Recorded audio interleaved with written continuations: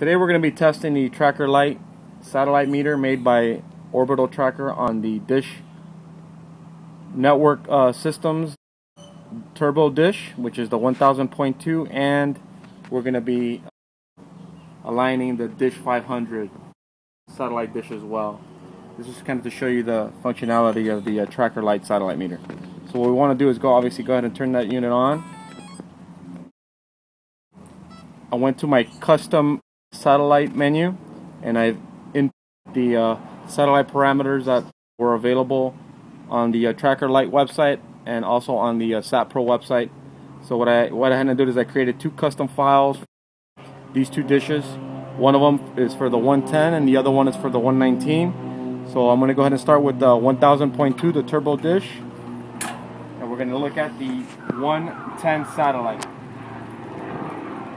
What I'm going to do is want to connect the F connector to the right port, which is the LNB in port.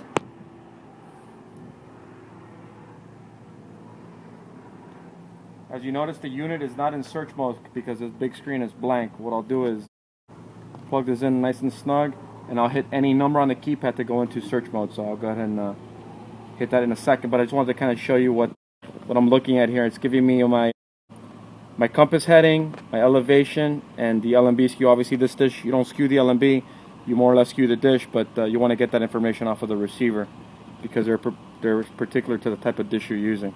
But you can see here that we're looking at the 110 satellite. Frequency is 12224. Symbol rate is 20,000. The lo local oscillator is 11250. LNB is, is 13 and the 22 kilohertz is off and obviously this is our is our lat and long. When you when you get the unit, you are going to have to put your lat and long so you could determine your uh, your your satellite uh, pointing uh, directions for the top bars. Okay, so let's go ahead and start our search here. I've already aligned the dish, so I wanted to give you the what it looks like when you're on the satellite. And I'm going to take it off alignment so you can see how it reacts to to the change of uh, alignment. You can see right away that we got a a signal and a quality reading. The quality reading is pretty much at 99% uh, and we are showing a locked icon on the top right there. So that basically tells us that it's ID the satellite, we're on the, the right bird, and at this point you basically want to fine tune it. So I want to show you the signal reading for 110 and I want to go out and go to 119 as well. You can see that as well. So we do have a positive lock on the 110 and 119 satellites. So what I want to do now is basically take the, the satellite dish off alignment so you can more or less get an idea of how sensitive this meter is with that uh, new chip that they're using, that uh, fast track chip. Hold on. See there, it automatically, instantly starts getting off alignment. And what I'm doing, I'm slightly putting pressure on the dish. I'm obviously moving it out of an angle. You can see the tone changes. Right there, I'm completely off the satellite. You can see the quality bar is telling me that I'm close. And as I fine tune it, you'll see that the tone will start to change and the quality bar will start to peak out.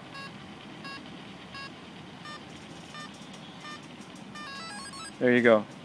You could hear that definitely, that tone change. what you want to do now is basically just fine tune it. Peak out that quality bar as high as you can get it. Tighten the bolt. Pretty much done. Want to get a cross-reference for the 110 satellite. We're on the 119 now. Let's scroll there. My left and right arrow buttons will tell me what satellite uh, file I'm on. So I want to go to satellite file number one. See that there? I'll show you the sensitivity on the 110 satellite as well. See that? There you go. I just kind of went back on there and I'm pretty much locked on. I'll pick out that quality bar and I'm pretty much good to go.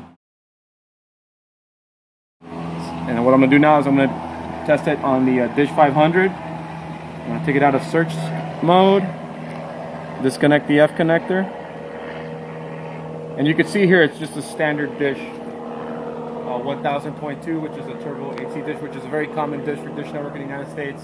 And obviously the uh, bread and butter, the Dish 500, uh, looks at the uh, 110 and 119 satellites as well.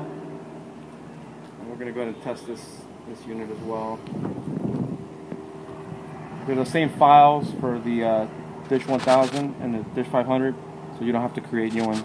Obviously, there's plenty of frequencies available on LyngSat you can look at and, and download and uh, put into the meter, but we just got the most common ones, and they are available on the Orbital Tracker site and on the uh, Sapro site as well. So let's go ahead and begin our search for 110. We've already peaked it, so we're going to get an instant uh, lock indicator. See that there? And I'm going to take it off alignment there so you can kind of see what the sensitivity is like on the Dish 500. See that? Instantly. I moved the dish about quarter of an inch and you can see there it just starts to to basically uh, search. So as I slowly get there, you'll see that quality bar. It tells me I'm pretty much on the satellite and there you go. That's priceless there. Very easy to use satellite meter. I'm going to go ahead and take it out of uh, the 110. I'm going to switch over to the 119. Boom. Perfect. I'm going to go ahead and take it out of alignment there so you kind of get an idea. See there? There, I'm completely off of the satellite. What I'm going to do, I'm slowly going to scan. Boom. There you go. So it's basically, it works very similar to the uh, Dish 1000.2. You're going to get the same readings pretty much. Uh, peak out that quality bar and you're 100%. Overall, this is a very well-made meter. Comes with a protective case. As you can see here, it's got a uh, USB cable here for your, uh, if you wanted to create your own satellite files, you could download them directly to it. We've noticed that it's actually easier just to type them in.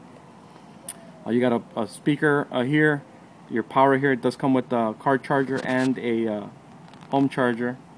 And you can also remove this back cover, which I'll do in a minute, kind of show you the functionality of it. But you do have this extra port here. If you run out of battery, you could power the unit with the satellite receiver.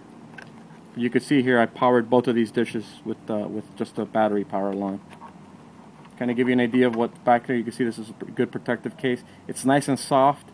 It's not like some other ones that are really just hard and don't protect any type of uh, vibration. You can see there's a pretty pretty normal unit. You need to take the battery replace it. It's pretty simple. So overall uh, this is a tracker light a satellite meter. High marks. Works great with Dish Network DirecTV and pretty much any type of uh, FTA uh, satellite. Hope it helps uh, you guys out in your installations. Thank